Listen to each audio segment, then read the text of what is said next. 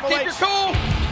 pulling one over on Stone Cold Steve Austin King. And the Rattlesnake does not look like he's in a pleasant mood after viewing that footage yet again. Following is a triple threat match for the World Wrestling Federation Women's Championship.